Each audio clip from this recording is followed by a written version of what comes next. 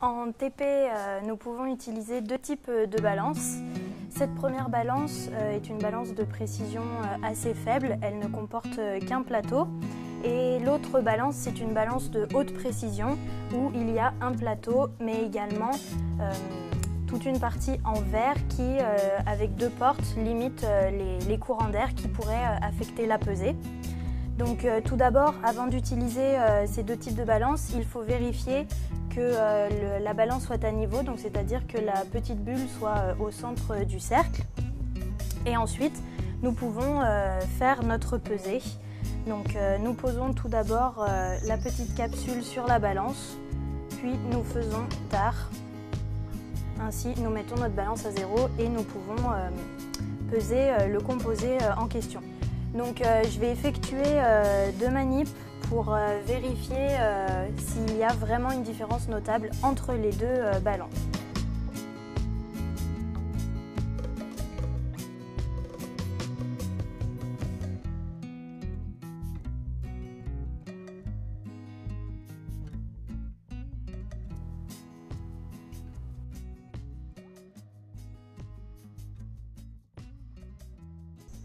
Au cours des TP, on sera amené à mesurer différents volumes de liquide et de solution. Ici, je vais vous montrer pourquoi est-ce qu'on utilise une verrie particulière dans le cas de la mesure d'un volume d'un liquide. La solution aqueuse que vous voyez ici a une densité aux zones alentour de 1 et on va mesurer environ 25 ml. En TP, les béchers peuvent être utilisés pour mesurer grossièrement les volumes dont on aurait besoin, par exemple pour un prélèvement, mais certainement pas pour mesurer précisément les volumes dont on a besoin.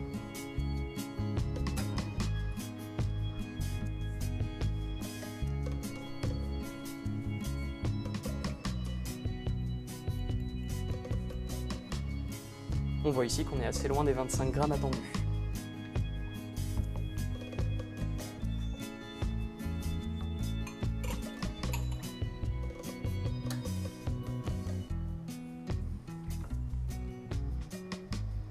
Un moyen plus précis de mesurer les volumes, mais pas encore suffisamment dans le cas d'une mesure très précise, c'est l'éprouvette graduée.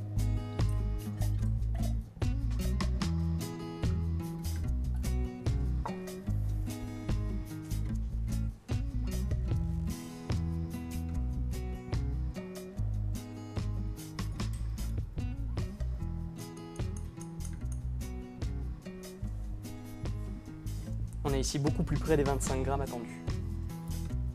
Le meilleur moyen de prélever précisément un volume, c'est avec une pipette jaugée.